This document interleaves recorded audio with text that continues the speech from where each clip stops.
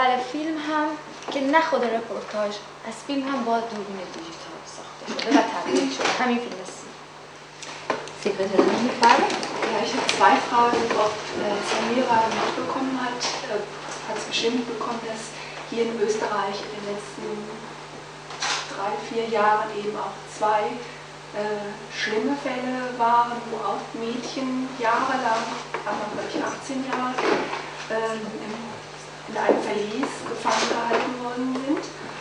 Und die zweite Frage, ähm, ich stelle mir das gerade hier vor, drei Tage nachdem so ein Fall bekannt geworden ist. Ich glaube, also bei uns, ich würde es mal jetzt behaupten, würden alle Behörden und alle Psychologen, äh, die darin sofort eingeschaltet worden sind, einen Dreh radikal verhindern. Also es dürfte überhaupt nicht. Ob das 1997 im Iran so war, ob sie sich das heute, ob, ob, ob, da, überhaupt heute keine, möglich. ob da keine Behörden einschreiten, ähm, ob das heute noch so ist oder ob das damals war. Also, also bei uns würde ich mal behaupten, geht das nicht. Aber welche Behörden? Ja, also bei uns, also erst- erstmal sind die Eltern, er er hier verhaftet worden. Also äh, mit Verhafteten, also würde ich mal behaupten, darf man gar nicht drehen. Und äh, die Kinder sind, so, die Mädchen sind sofort in psychologische äh, Behandlung gekommen und auch die Psychologen, also die sie finden. ام، اولا که اهمیتی که این داشت برای در واقع سوشال ارگانیزیشن ما توی ایران چی بهزیستی. بهزیستی برای بهزیستی بود که بیان و اینا رو ببرن و بررسیشون کنن پس بیشتر مربوط به بهزیستی بود اونا داخل بود. اینا داخل بودن. در حدی اهمیت داشت که رپورتاج ازش همونقدر که فیلم می‌بینیم تهیه شده بود و دو سه تا روزنامه البته بعدتر از این که من شروع کردم راجع به این فیلم ساختن شروع کردم راجع به این پدر نوشتن. مشکلی که می‌تونست ایجاد بشه برای گرفتن مجوز ساخت فیلم که چون سیستم سانسور تقریبا اون موقع اینجور بود که تو باید سناریو رو می‌دادی تا امکانات رو بگیری یعنی دوربین و همه این چیزا. و وقتی من مجبور نبودم اینو بدم پس این چیز هم ایجاد نشد. و بعد انقدر سریع این اتفاق افتاد که کسی نتونست ماکسیموم یه مستند راجبش تهیه بود. تصور شد که یک مستند راجب این. ساخته میشه. یعنی به سرعتی من وارد عمل شدم که دیگه اونا دیرتر از من عکس العمل می‌تونستن نشون که شاید اونقدر براشون این مسئله جدی نبود. اونقدر که برای من اهمیت داشت. یا نه. دردناک بود نه اهمیت اجتماعی داشت نه اهمیت فرهنگی داشت براشون انقدر. ولی بهزیستی با ما همکاری کرد. برای اینکه شاید این مددکار اجتماعی و بهزیستی ما رو هم جهت خودشون می‌دونستن. و شما از اون دو مورد خاص که اینجا پیش اومده هیچ, هیچ خبر ندارن مردم که چجوری هستن این اصلا نشون داده نشده که چجور رفتاری دارن Also ich meine, das haben alle auch jetzt mitgekriegt. Ich glaube, die äh, ähm, Mädchen, also die Natascha Kampusch und die anderen sind in psychologische Obhut direkt genommen worden und doch sehr, sehr abgeschirmt worden. Ich glaube, an die kommt so gut ran. Und das wäre jetzt auch mal eine Frage, ob Sie äh, in so einem Fall, wenn solche Mädchen drei Tage jetzt zum ersten Mal das Licht der Welt erblicken, ähm, ob man dann nicht das Gefühl hat, oder ich hätte riesen Angst, äh, was mit ihnen jetzt passiert, also dass ich mich psychologisch verkehrt verhalte. Also das ist ja eine Erfahrung, die ich auch in meinem Leben noch Die haben Angst, sich verkehrt zu verhalten, schwer- etwas Falsches ob man Schäden damit Ja, ja. Mhm. dass sie gleich in einem Film damit spielen. Also dass dann gleich ein Film gemacht wird. نه نه مثلا اونجا همزمان در واقع بهزیستی و روانشناسای اونا و در واقع مددکارای اجتماعی بودن و ما رو می‌دیدن و Es war so, dass این ترس وجود نداره نه ترس وقتی که رابطه نداشته باشی نه وقتی که رابطه پیدا کنی و به نظر من حتی این فیلم به شدت کمک کرد به سرعت بخشیدن به اجتماعی شدن اینا برای اینکه یک گروهی تمام تلاش و محبت و عشقش به این بود که اینا اینو بازی کنن. اینا حرف بزنن اینا حرکت کنن. Ich hatte gestern auch, jetzt werde ich ganz laut, ich hatte gestern auch verstanden, dass auch das Jugendamt ähm, eigentlich die Verantwortung dann äh, nicht übernommen hat für die Mädchen, weil sie gesagt haben, sie wären ja gar nicht wirklich behindert, sondern sie hätten eigentlich normale äh, Entwicklungsmöglichkeiten. Das ist doch so, oder? بله درست از ریخت و میشه. ما و ما باز نمیتونستن حتی با پدر مادرشون برگردیم برای اینکه پدر مادرشون دوره همون شرایط رو برشون Warum wurden sie denn nicht eingesperrt, die Eltern? Oder war چرا das چرا پدر مادرشون زندانی نشد Badestand?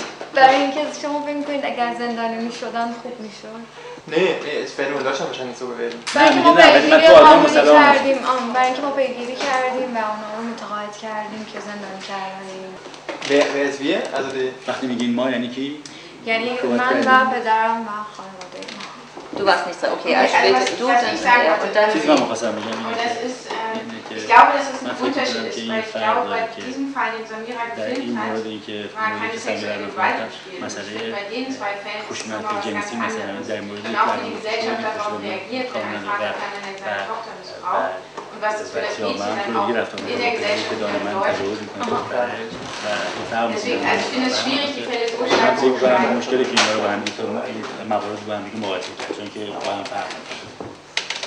Gut. Mich würde interessieren, ähm, es ist ja sehr unterschiedlich, wie der Vater auftritt und die Mutter auftritt. Und die Mutter kommt ja auch nur sehr kurz vor. Und wie war es, mit der Mutter zu arbeiten? War das sehr anders? خیلی فرق می‌کرد vorkommen? این در واقع آیا که معتقد این که مثلا نقش اون باید بیشتر می بود در فیلم. کسی که در واقع عمل کرده بود و بعد در واقع این قفل ها رو ساخته بود و این شرایط رو ایجاد کرده بود در واقع بیشتر پدر بود و مادر خودش یک آدم منفعلی بود که توی این شرایط در واقع قرار گرفته بود خودش هم باور داشت چیز خودش هم می‌دید که زیر این چادره. خودشون حتی اون زندان خونه براش کافی نبود که احساس امنیت کنه. باید می‌رفت زیر اون. با اینکه حتی نابینا بود. حتی بچه باز زیر چادر خودش جاشون رو امن‌تر می‌دونست.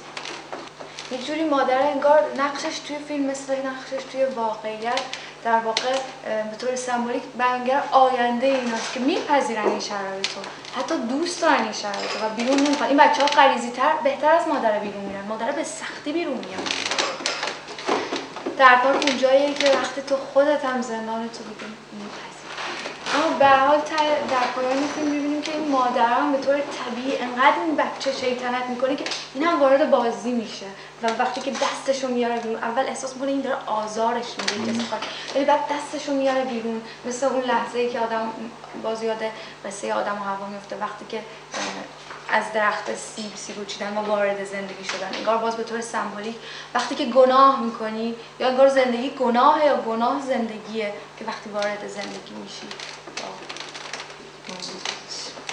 نه فقط گناه که لذت که یه رابطه با یه فردی جز خودت Also das Faszinierendste für mich im Moment مهمترین Ist یا das, چیزی بیشتر ähm, من تحت تاثیر قرار می‌ده در Film این tatsächlich Veränderung bewirken kann, که aber فیلم eben می‌تونه genau تغییر in انجام dieser بده. ولی Art, درست dass به der همین جهت، به Film این ترتیب که in der فیلم، Geschichte äh, die Veränderung bewirkt. Ja. Und ich weiß nicht, ob es خودش da باعث viele Beispiele تغییر gibt, ich میشه. glaube nicht. من اه، Und نمی‌دونم که ich glaube auch, aber dass es genau den Charme eigentlich auch, also das ist ein schwieriges Wort, ich weiß, aber den Reiz und diese künstlerische Aussage eigentlich hervorbringt. Das hat, das hat mich total fasziniert.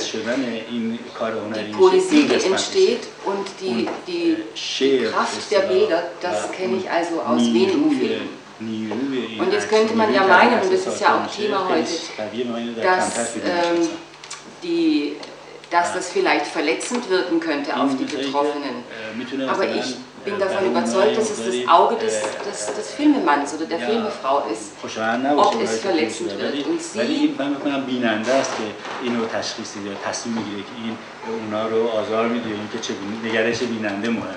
und sie schaut mit Verständnis und mit Liebe und das kann nie verletzen. Und das finde ich das Faszinierende, dass dann diese, diese Kraft das ist eine unglaubliche Kraft, die dann in diesen vielleicht darf ich noch sagen, was ich sehr wichtig fand, äh, was die Kollegin hier sagt, den Vergleich.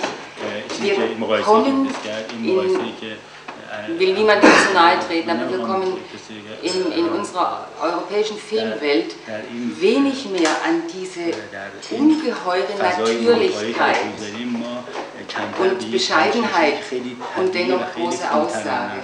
ولی Und das dürften wir پیام nicht. خیلی Also so oder قوی so داره oder so. خیلی کم به اینجا میرسیم در این Was war das محدوده فیلم letzte? Und das letzte war, wir dürften in keiner Weise auch nur was Ähnliches machen. Äh, ob Vergewaltigung, also ob sexuelle Autoritäten. äh, Missbrauch oder nicht. Es äh, wäre nur möglich, dass der, dass der Film eben ein Spielfilm mit völlig fremden Schauspielern und äh, auch ein bisschen verändert sein müsste, sonst würde es nicht gehen, oder? Ganz wichtig. Deswegen finde ich das so wichtig, dass man das. که هیچ گونه ارتباطی برای اون مثلا شخصی و حقوق شخصی و اینا. هیچ گونه ارتباطی هم نتونن برقرار کنن. باید که اسامی و داستانی یه مقدار داستانی باشه اولا و این غیر- از این تو اینجا امکانش نیست. Hochachtung möchte ich noch من sagen. می‌خوام انسانیه. ازتون بلا خیلی Sigrid. Ich wollte das gerne nochmal aufgreifen. Also, ähm, wenn ich was sage, dann ist das immer mit einer großen Hochachtung vor چیزی که dem اگه من هر چی Film رو میگم verbunden. با Aber احترام dadurch, dass بسیار ich زیاد در aus برای فیلم dem میکنم gleichen Beruf komme, ولی من چون خودم gleich این ich شغل رو دارم automatisch من اینو به طور اتوماتیک کار شما رو با کار خودم Und dann مقایسه stellt میکنم man اینجا sich و من die اینجا Fragen, م، سوالی که ما وقت برادر نتم شخص مقایسه میکنه چه کاری آدم میتونه اینجا بکنه و Vielleicht weiß sie zum Beispiel nicht, was in Deutschland Autoritäten bedeuten. Ähm, wollte ich ein Beispiel nennen. Ich habe gedreht mit einer Frau von 17,5 Jahren. Mit einer stummen Frau. Junge Frau. Frau. Frau aus Pakistan, die 17,5 Jahre war, damals in Deutschland gedreht. Sie war aus ihrer pakistanischen Familie geflohen, weil sie einen Freund hatte und nach Pakistan zurückgeschickt werden sollte und dort eventuell getötet oder mit einem alten Mann verheiratet zu werden, weil sie die Familienehre verletzt hat in Deutschland. Und das ist ausgelegt, aber nur, aber nur wir, Sie wollten einen Film von mir mitmachen. Also Sie wollte das. Ich wollte das natürlich. Ich habe Sie gefragt.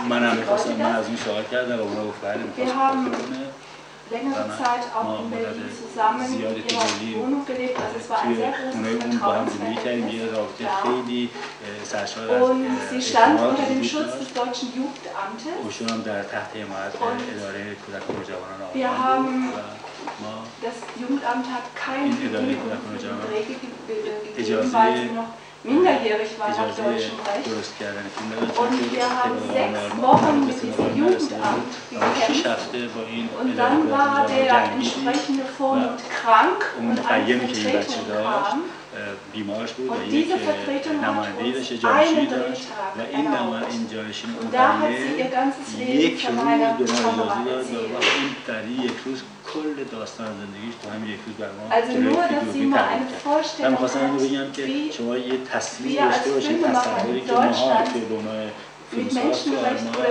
با مسائل حقوق مسائلی یعنی که می‌خوام. علاوه من یعنی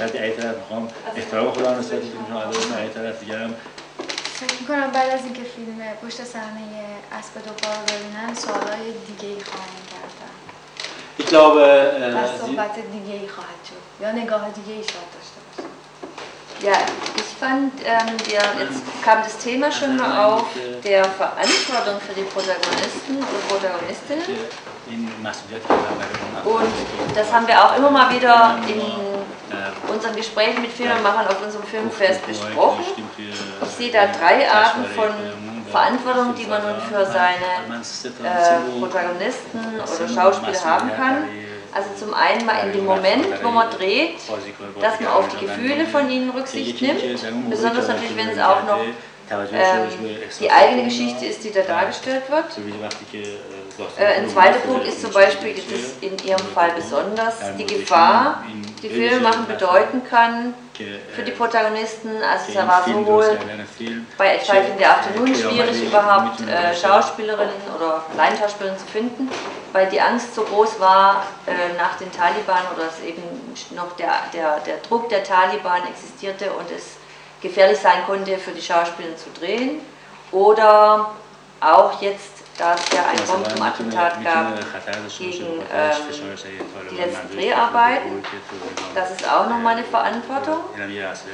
Und es gibt aber noch eine dritte Verantwortung, und zwar, wenn ich den Film beendet habe, lasse ich dann einfach die Protagonisten Überlasse ich die sich selbst oder bleibe ich denen irgendwie verbunden? Bei uns hat ja auch mal die Elionigkeit gesagt, sie hätte Jahre und Jahre Filme gemacht, Dokumentarfilme. und für sie sei es immer gewesen, als hätte sie immer genommen vom Leben, genommen vom Leben, genommen vom Leben. Und dann hat sie irgendwann gesagt, ja aber irgendwann muss ich doch auch mal geben. Und sie hat dann in der Folge ein Projekt mit Frauen, mit diesen Frauen, mit denen sie arbeitet in dem Film, hat sie dann ein Projekt in Afghanistan mit denen zusammen entwickelt. Jetzt für den Film Der Apfel wollte ich auch fragen, welche Art von Verantwortung sie da getragen hat.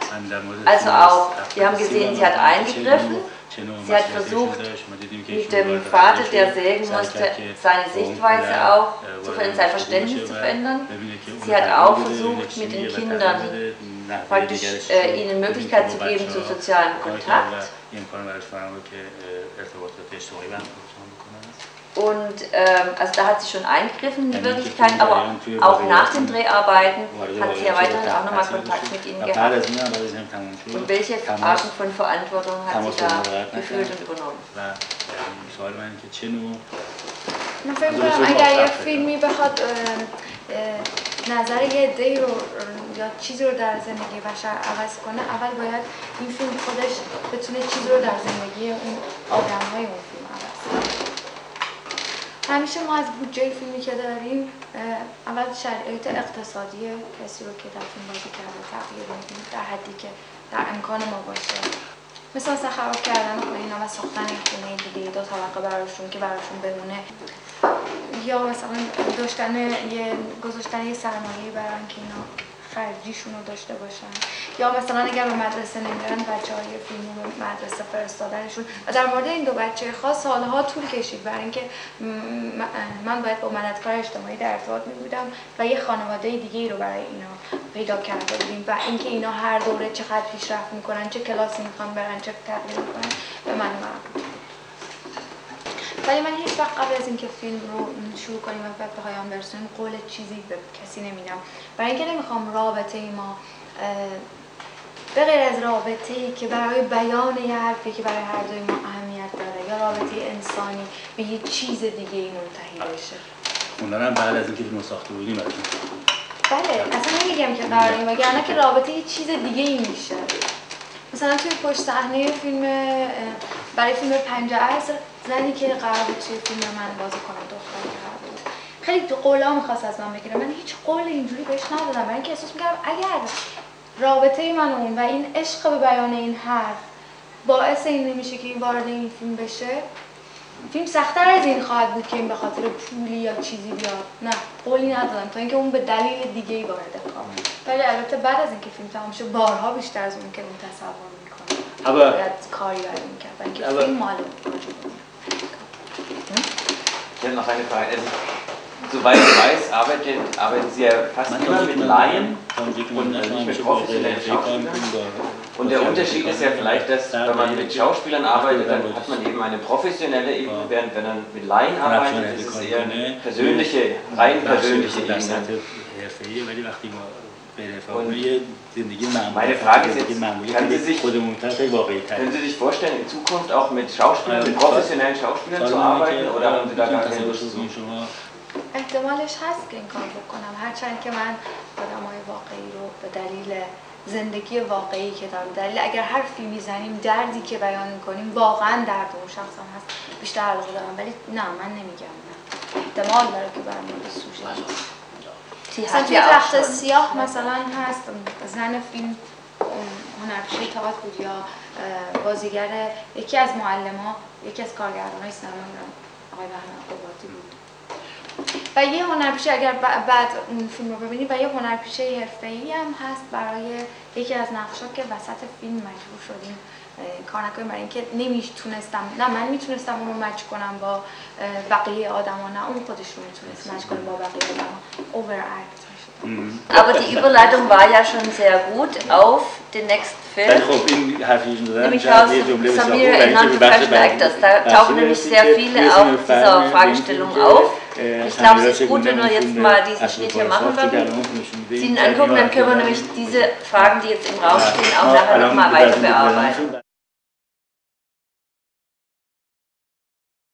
Sehr, sehr beeindruckt von der, wirklich von der physischen Präsenz, die Samira beim, beim Regieführen hat. Also mich sehr fasziniert, wie, wie, wie, sehr, wie stark sie ihre eigene Seele, ihr eigenes Wesen so reinschmeißt in die, in die Arbeit.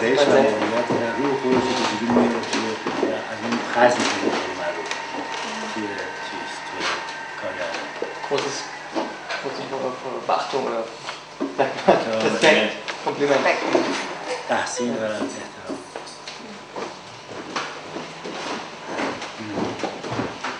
Also so ging es mir auch, also das, die, dieses physische und körperliche hat mich sehr beeindruckt. کاری و فعالیت بدنی که با بدن چجوری کار کنی انرژی بدنی رو Auch dass da so, so eine Schmerzgrenze auch überschritten wird. از مرزی هم که آدم درد رو احساس کنه از اون مرز فراتر میره اون مرز گسترده Das spürt man auch beim Zugucken. این آدم هنگام دیدن هم احساس لمس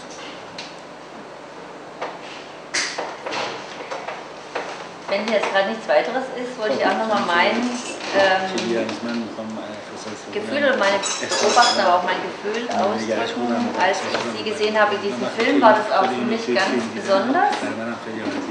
Und für mich war ganz interessant, dass sie eben zum einen mal hat sie ähm, erklärt, in was für einem Setting sich jetzt irgendeine Person in dieser Geschichte befindet, also welcher Zusammenhang, dass sie gesagt hat, jetzt mehr, du musst jetzt mehr Pferd sein als ein Pferd, weil sonst wirst du verkauft. Und es war so ein Ding, dass sie eben sie versucht, in diese Vorstellungswelt reinzubringen. Und der nächste Schritt war, dass sie praktisch alles vorgemacht hat, dass sie selbst ausgedrückt hat, wie sie sich das vorstellt. Also auf den Jungen auf die Schule genommen hat gegangen ist. Ähm, was eben auch dann durch Imitation man auch lernen kann. Aber für mich war das Allerfaszinierendste, wie sie praktisch so ein einen Spiegel ähm, hergestellt hat. Dass während die Jungs gespielt haben, hat sie eigentlich das Gefühl ausgedrückt. Und ich dachte zuerst, sie produziert ein Gefühl und drückt es aus, aber sie hat erzählt, es ist nochmal, ähm, es ist nicht eine einseitige Sache, sondern sie hat erzählt, das ist auch eine zweiseitige Sache. Vielleicht kann sie das nochmal ein bisschen mehr erzählen. میده و اون طرف هم در واقع شاید اول من تحت تاثیر زندگی قرار بگیرم یا اول سناریست تحت تاثیر زندگی واقعی قرار اول من اینا رو درمونی می‌کنم و بعد دوباره به یاد اونا وزن Wie viel von dem Film entsteht denn beim Casting? چه میزانی از این فیلم وقتی شما کاستینگ می‌کنید به وجود میاد؟ خیلی از فیلم خیلی